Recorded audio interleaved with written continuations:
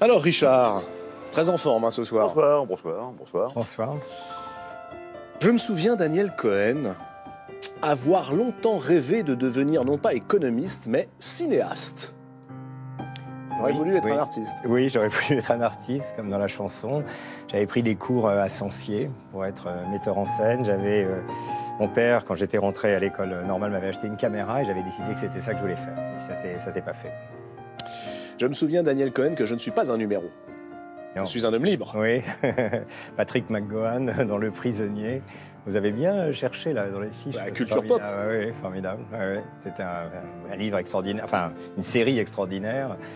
Parce qu'effectivement, elle annonçait beaucoup des, choses qui, au fond, nous reviennent constamment, c'est-à-dire cette crainte d'être mis dans la case avec le numéro euh, qui nous permet d'être identifiés. C'est un peu tout, le monde de Orwell qui est en train de réapparaître sous la forme de cette surveillance générale que le monde numérique, en fait, nous impose.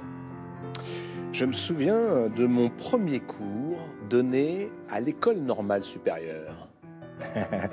dans lequel une jeune fille dans, la salle, euh, alors que j'étais en train de remplir le tableau d'équations sur la croissance économique, me dit euh, Et en langue vernaculaire, euh, ça donne quoi tout ça?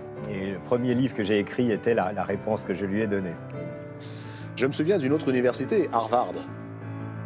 Oui, où j'ai rencontré beaucoup de gens que j'apprécie beaucoup, comme euh, Jeff Sachs, euh, Olivier Blanchard, qui m'ont accompagné pendant, pendant très longtemps dans, dans ma vie. C'est la première fois, en fait, je venais de France, dans le système universitaire français, en partie de, son, système le plus élitiste. Mais quand on va aux États-Unis, on voit que les universités, le savoir, c'est quelque chose qui a de la valeur. Véritablement, on respecte les, enseignants, on les appelle professeurs.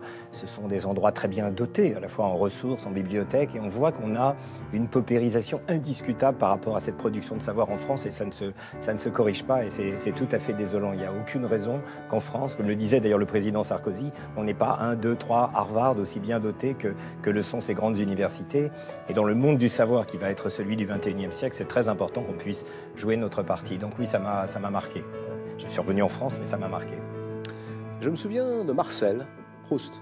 Oui, que j'adore. Je ne laissais pas dire qu'on puisse s'ennuyer. J'ai une amie qui était une des éditrices de, de Marcel Proust et, euh, et, euh, et ça m'a, je l'ai- lu par amitié pour elle et j'ai été fasciné par ça. C'est pas une connerie, du côté de chez Swann. Oui, oui, oui, j'ai entendu. Au de- piano, de- bah oui, bien sûr. De Dave. Fasciné parce qu'effectivement, on, on entre et on n'en sort jamais. Enfin, on a envie de, de tout lire. Toutes les lignes de tous les chapitres, on ne veut rien rater. oui. Et relire. Et relire, bien sûr. Merci beaucoup, Daniel Cohen.